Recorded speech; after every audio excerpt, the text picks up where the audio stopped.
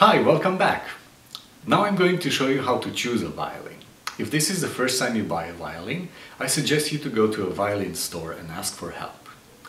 Here is how to choose the violin. First, turn your head to the left and place the violin up on your shoulder. If you can comfortably reach out and wrap your fingers around the scroll, then that would be the right size violin for you.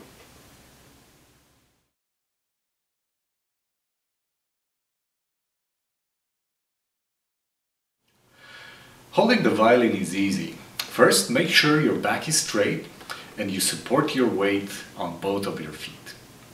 Some people prefer to lean onto the left leg and relax the right. Look over your left shoulder and put the violin up. Bring it as close to your neck as possible and rest your jaw on the chin rest. At this point, make sure two things are happening.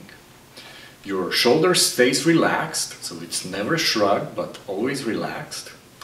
And your elbow is also relaxed and able to move left and right, so we can reach the notes up here. If you need to change the setup of your shoulder rest, now is a good time to do that. So that's all there is to holding the violin. Let's take a look at how to hold the bow.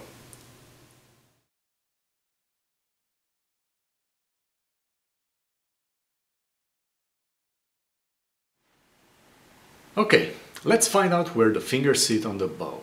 Let's start with the thumb. The thumb is always going to be round and relaxed, just like every other finger.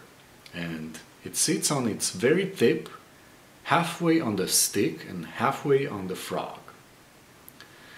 The index finger sits at the second knuckle, and if you need to twist your hand towards the bow, that would be great.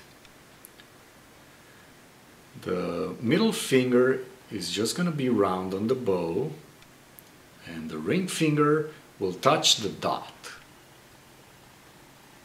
right there. Now the bow is going to be a little bit slanted this way with the hair closer to you and the pinky is going to be on the second side, the one closer to you.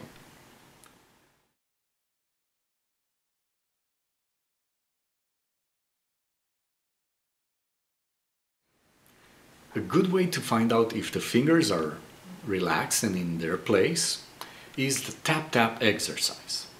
Let's start with the index finger.